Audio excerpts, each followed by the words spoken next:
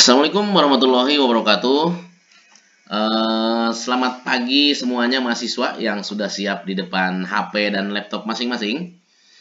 Eh, hari ini kita jumpa lagi dengan saya Tisna Suryana pada kuliah Tuweb, tutorial webinar atau kuliah online di masa pandemi COVID, yaitu dengan mata kuliah materi dan pembelajaran IPA di SD disajikan atau dilaksanakan pada tanggal 15 November tahun 2020.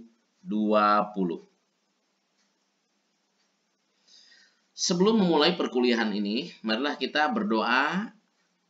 Berdoa mulai. Robi jidni ilma, warjukni fahman, waj'alni minas solihin. Ya Allah, tambahkanlah aku ilmu, berilah aku karunia agar dapat memahaminya, dan jadikanlah aku termasuk orang-orang yang soleh. Baik, kali ini saya akan menjelaskan tentang modul 9, tetapi pada pertemuan yang ke-8, yaitu tentang limbah dan pemanfaatannya serta etika lingkungan. Untuk kegiatan belajar satu, yaitu jenis sifat dan sumber limbah. Kompetensi umum yang harus dikuasai oleh mahasiswa pada modul ini, yaitu mahasiswa diharapkan dapat menerapkan konsep limbah dalam kehidupan sehari-hari. Sedangkan kompetensi khusus yang harus dikuasai oleh mahasiswa adalah yang pertama, mahasiswa dapat menjelaskan pengertian limbah. Yang kedua, mahasiswa dapat menjelaskan macam-macam limbah. Yang ketiga, mahasiswa dapat menjelaskan sifat limbah. Yang keempat, mahasiswa dapat menjelaskan manfaat berbagai macam limbah. Yang kelima, mahasiswa dapat menjelaskan penanganan berbagai macam limbah. Next. Sebagai pembuka atau pengantar dalam perkuliahan ini, yang pertama bahwa makhluk hidup menempati lingkungan yang ada di sekitarnya. Disesuaikan dengan tempat hidupnya. Tetapi apa? Kebanyakan lingkungan yang ditempatinya dirusak sendiri, dikacaukan sendiri ya oleh makhluk hidup tersebut. Baik disadari maupun tidak disadari. Ini yang bahayanya. Contoh tindakannya ya. Yang pertama yaitu penggunaan bahan bakal berlebih, pendirian pabrik-pabrik, penggunaan angkutan kendaraan, kemudian juga sisa-sisa bahan bakar. Contoh tindakan yang lainnya yaitu merusak keseimbangan alam, misalnya terjadinya perburuan hewan, perusakan terumbu karang. Ya, pernah saya baca di salah satu eh, apa media bahwa eh, keadaan terumbu karang di Indonesia semakin sekarat keberadaannya katanya. Ya, berarti itu sudah semakin parah gitu ya. Berikutnya juga ada penebangan hutan sembarangan, ya. Kemudian pemboman ikan. Ini di sini saya tampilkan slide ya yang pertama kita lihat e, hutan yang rusak, hutan yang gundul. Kemudian yang kedua di sini ada e, di tengah laut ada ledakan atau pemboman ikan. Slide berikutnya adalah ada hewan yang diburu dan siap disembelih ya. Barangkali juga siap untuk di e, apa dibikin sate mungkin. Kemudian slide berikutnya adalah di sini betapa banyaknya asap-asap kendaraan ya yang akan mengganggu eh, keselamatan dan kesehatan eh, makhluk hidup ya. Lanjut. Pengertian limbah. Limbah adalah buangan yang dihasilkan dari suatu proses produksi, baik industri maupun domestik. Ya. E, misalnya dalam rumah tangga ya, ini yang lebih dikenal sebagai sampah. Begitu. Berikutnya kehadirannya pada suatu saat dan tempat tertentu tidak dikehendaki lingkungan karena tidak memiliki nilai ekonomis maupun nilai guna. Macam-macam limbah, ada limbah rumah tangga terdiri dari organik dan anorganik. Kemudian yang kedua ada limbah pabrik, padat, cair, dan gas. Nah, kita lihat apa sih perbedaan limbah organik dengan limbah anorganik ya. Uh, yang pertama, limbah organik merupakan limbah yang dapat mengalami proses penguraian secara alamiah. Contohnya sisa hewan dan tumbuhan. Sedangkan limbah anorganik, limbah yang berasal dari sumber daya alam, tidak terbaharui, dan sulit diuraikan secara alamiah oleh mikroorganisme seperti minyak bumi, plastik, kaleng, dan botol, serta kaca dan lain-lain. Sebelum dilanjutkan ada pertanyaan? Disilahkan kepada mahasiswa ya. Silahkan kita diskusi interaktif saja. Jika ada hal-hal yang belum dipahami, ya monggo ya. Siapa? Oh enggak ya. Nah kalau ada pertanyaan silahkan ya. Kalau tidak ada kita lanjutkan. Nah ini ya, ini adalah contoh sampah-sampah organik. Di sini ada kertas, ada kaleng bekas minuman, ada beling atau pecahan kaca, kantong kresek, botol plastik, dan lain sebagainya sejenis ya. Nah, kemudian ini ada sampah organik, ada daun-daun kering, ada sampah-sampah rumah tangga bekas sayuran, cangkang telur, cangkang pisang, kemudian juga bekas-bekas buah-buahan, dan masih banyak lagi yang lainnya ya. Limbah padat pabrik. Di sini ada eh, gambar yaitu bekas drum, potongan-potongan logam, kemudian juga sisa-sisa logam gitu ya. Terutama ini pada industri mesin, logam, aneka industri kimia, industri hasil pertanian, kehutanan berupa bongkah kayu, potongan kayu, serpian-serpian logam, lumpur, eh, kerak kotoran, tekstil, karet dan lain-lain. Nah, limbah cair pada limbah cair itu misalnya pada dihasilkan urin, air cucian alat, sisa buangan pabrik, pengolahan kelapa sawit, tekstil, dan lain-lain. Kemudian limbah gas pabrik.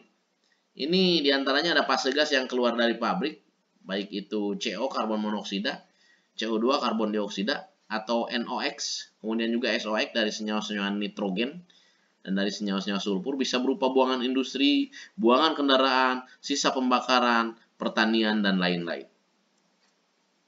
Nah, berikutnya ada pengelompokan atau pengklasifikasian limbah. Ya, pengelompokan berdasarkan jenis senyawa, ada limbah organik dan ada limbah anorganik. Pengelompokan berdasarkan wujud ada limbah cair, limbah padat, dan limbah gas. Sedangkan pengelompokan berdasarkan e, sumber, yaitu ada limbah domestik atau rumah tangga, limbah industri, limbah pertanian, dan limbah pertambangan. Boleh, saya ingin interaktif dulu dengan mahasiswa nih. Kira-kira ada nggak yang bisa menjelaskan seperti apa sih limbah pertanian? Ya. Apa? Jerami? Ya. Daun-daun kering? Ya bisa saja mungkin, tapi itu kan masih bisa diolah untuk menjadi pupuk-pupuk organik. Biasanya limbah-limbah pertanian itu berasal dari eh, apa? Sisa-sisa eh, pemupukan, kemudian juga Eh, berasal dari uh, insektisida atau herbisida kalau dia terkait dengan tumbuhan. Kemudian fungisida kalau jamur, ada rodentisida jenis-jenis hewan pengerat. Nah, itu nanti akan berakibat terhadap uh, lingkungan ya, akan mencemari atau akan mengotori lingkungan ya. Baik, ada empat prinsip yang digunakan dalam menangani limbah atau sampah. Prinsip ini disebut dengan 4R. 4R itu apa saja? R yang pertama recycle, reduce, reuse, dan replace. Nah, masing-masing akan saya jelaskan nanti. Ya.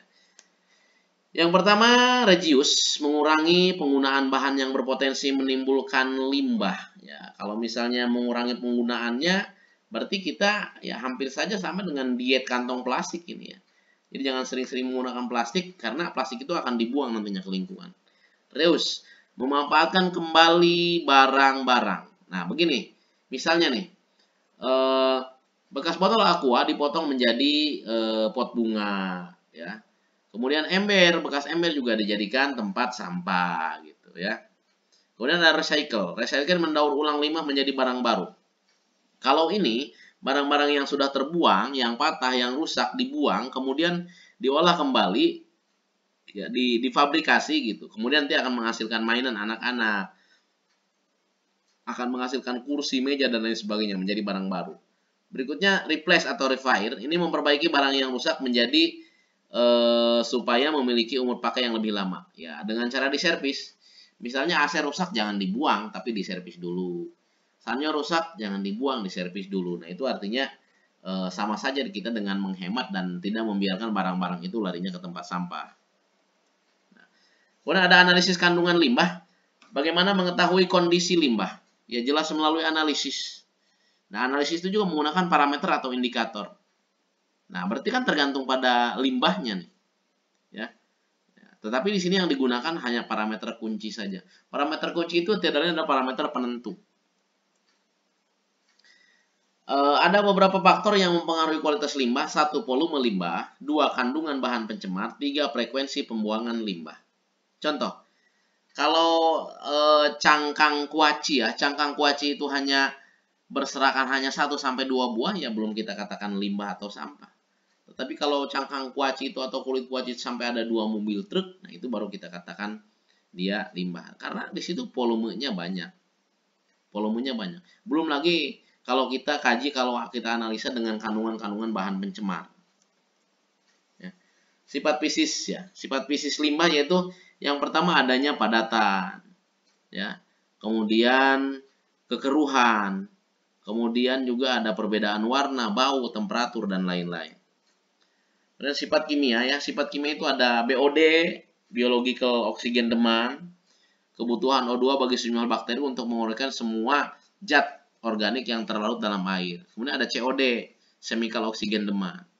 Ada juga metan ya, metana, CH4. Biasanya di mana ditemukannya? Di rawa, di sawah, kolam, limbah, ya. Jadi begini kalau misalnya kolam itu yang banyak limbahnya itu mengandung metan, biasanya lumpur tidak ada. Ya, tetapi kalau lumpurnya ada, ya berarti dia tidak mengandung metan. Kemudian berikutnya adalah e, derajat keasaman atau pH atau power hidroksi. Terus alkalinitas ya, karbonat garam-garam biasanya akan menyebabkan kesadahan air. Kesadahan air ada dua loh, ada ada sada sementara dan ada sada tetap. Air yang sada itu tidak lain banyak mengandung ion-ion ya, terutama ion-ion Ca dan ion-ion Mg yang akan berpengaruh kalau kita misalnya melakukan proses pencucian itu kita memberikan pembersih banyak tetapi dia tidak berbusa. Jadi perasaan kita seolah-olah tidak membersihkan begitu ya. Berikutnya juga e, lemak dan minyak. Lemak dan minyak biasanya kalau dibuang ke air akan membentuk dua lapisan. Lapisan di bawahnya air, lapisan di atasnya ya minyak. Kenapa demikian? Karena massa jenis minyak lebih ringan daripada massa jenis air. Nah, konsep ini akan terjadi pada daerah-daerah atau pada sungai yang tercemar. Kalau misalnya tercemar berarti tertutupi oleh minyak. Kalau tertutupi oleh minyak hewan atau ikan-ikan atau alga, ganggang, fitoplankton, plankton dan lain sebagainya itu tidak tidak bisa uh, sirkulasi oksigen ya. Sehingga uh, lama kelamaan mereka akan mati begitu. Kemudian oksigen terlarut ya atau disolved oksigen. Berikutnya juga besi dan magnesium. Masih ada parameter lain ya yaitu ada, ada klorida yang biasa digunakan sebagai desinfektan ya ini akan menyebabkan air menjadi asin dan akan merusak pipa-pipa ya. Nah, fosfat. Fosfat juga dihasilkan dari bahan-bahan pembersih, kemudian juga pencuci, ya, pemutih dan lain sebagainya. Berikutnya ada sulfur. Sulfur ini adalah H2S beracun dan berbau busuk biasanya. Ya. Kemudian yang harus kita waspadai juga adalah logam-logam berat dan beracun. Terutama logam-logam dari kadmium, logam-logam dari hidrogirum begitu ya. Ini harus diwaspadai sifat biologi. Kalau sifat biologi ini biasanya uh, air buangan yang biodegradable ya dapat terurai kembali dapat diolah secara biologi yang dapat dilakukan melalui reaktor pengolahan yaitu reaktor pertumbuhan. Kemudian proses penguraian secara biologis yaitu melibatkan proses aerob dan anaerob ya. Nah, proses aerob berlangsung dengan hadirnya oksigen, sedangkan proses anaerob berlangsung tanpa adanya oksigen. Ini sebetulnya perbedaan respirasi aerob dengan anaerob ya. Ya, dari mulai butuh O2 dari udara untuk oksidasi makanan. Sedangkan respirasi, respirasi aerob tidak butuh O2. Kemudian pada aerob menghasilkan 38 ATP dan 36 ATP untuk produk akhir. Sedangkan pada anaerob menghasilkan 2 ATP dari tiap-tiap tahapannya pada respirasi aerob membebaskan CO2 dan H2O secara sempurna.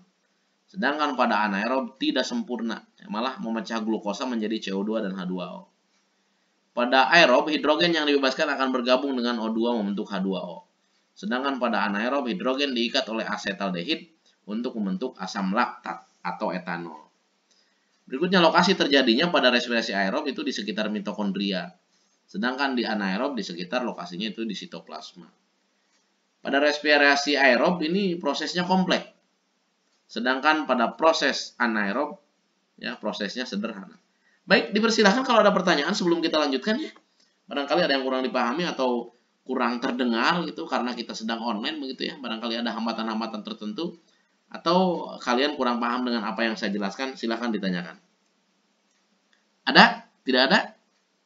Lanjut kalau tidak ada. Berikutnya pemanfaatan limbah. Ada limbah kertas ya. Kemudian biasanya dibuat bubur valep ya e, untuk bahan kertas lainnya. Ada juga yang dihancurkan untuk dipakai sebagai bahan pengisi bahan isolasi. Kemudian ada juga yang diinsenerasi, pembakaran sampah, teknologi pengolahan sampah sebagai penghasil panas. Lanjut. Untuk bahan organik biasanya dibuat kompos untuk pupuk pertanian. Jadi ada istilahnya pengomposan di situ. Nah, untuk tekstil atau pakaian bekas, yang pertama bisa dihancurkan untuk dipakai sebagai bahan pengisi isolasi. Yang kedua, bisa disumbangkan kepada yang memerlukan kalau memang layak pakai ya. Gitu. Baik, gelas. Gelas ini dibersihkan dan dipakai. E, biasanya dia berbentuk beling ataupun botol. Ya. Dihancurkan sebagai pembuat gelas baru. Atau gelas ini dihancurkan, dicampur aspal atau beton untuk pengerasan jalan. Atau gelas ini juga dihancurkan dan dicampur pasir batu untuk pembuatan bata semen. Lanjut, logam. Ada beberapa bekas logam nih ya e, tanpa berkarat, kemudian juga tanpa berserakan ya bisa merusak lingkungan. Ini biasanya dicor untuk pembuatan logam baru atau langsung digunakan bila keadaannya masih layak pakai atau masih baik. Karet kulit plastik dihancurkan sebagai bahan pengisi isolasi, ya, kemudian diinsenerasi sebagai penghasil panas. Nah, kemudian ada potongan atau serbuk gergaji. Bisa dimanfaatkan dan dibentuk briket ya, briket arang atau arang aktif atau juga ada yang memanfaatkan untuk media tanam. Ya. Bisa kita lihat yang sebelah kirinya adalah e, briket arang atau arang aktif, sedangkan yang sebelah kanannya adalah di sini sebagai media e, tanam tanaman, terutama untuk tanaman palawija Limbah nanas. Limbah daun nanas untuk produk tekstil. Kulit dan monggal nanas dapat membantu mempercepat proses fermentasi tempe. Nah, di sini ada diagram ya atau skema atau lebih dikenal dengan diagram alir limbah. Lain adalah proses pengolahan limbah ya, terutama limbah-limbah yang eh, sederhana gitu. Maksud saya, katakan sederhana ini tidak terlalu oh, pekat ya, atau bukan dari pabrik-pabrik besar ya. Kemungkinan ini adalah dari pabrik-pabrik home industri saja gitu. Jadi limbah nanti masuk ke filtrasi atau penyaringan, Kemudian dilakukan sedimentasi, pengendapan. Ya, ada yang membentuk biogas atau gas bio, itu nanti masuknya ke generator dan bisa digunakan sebagai listrik. Nah, kalau tadi setelah mengalami proses sedimentasi, maka dia akan mengalami fermentasi. Berikutnya nanti sedimentasi yang kedua. Nah, kemudian ada kalau dia sudah layak, sudah bagus, sudah memenuhi batu, eh, baku mutu lingkungan atau sudah memenuhi kriteria e, hal yang berkaitan dengan e, limbah tadi, maka itu kalau dia sudah layak maka dialirkan ke sungai. Atau kalau belum dilakukan pemekatan sludge ya pengkomposan ya penyaringan pengemasan sampai dia menjadi sebuah kompos yang sangat menyuburkan tanaman baik demikian terima kasih. Jika ada pertanyaan disilahkan ya. Disilahkan kalau ada pertanyaan. Karena kita ini pertemuan yang eh, kedelapan ya. Minggu depan sudah tidak ada pertemuan lagi tapi kalian eh, sudah mempersiapkan untuk persiapan eh, pelaksanaan ujian ya. Baik kalau tidak ada untuk mengakhiri atau untuk menutup kegiatan ini marilah kita berdoa. Berdoa mulai. Allahumma arinal hakka hakkan warjuknat tiba wa arinal batila batilan warjuknat tinabah Ya Allah tunjukkanlah kepada kami kebenaran sehingga kami dapat selalu mengikutinya. Dan tunjukkanlah kepada kami kejelekan sehingga kami dapat selalu menjauhinya. Demikian, ya kurang lebihnya mohon maaf. Bila itu Assalamualaikum warahmatullahi wabarakatuh.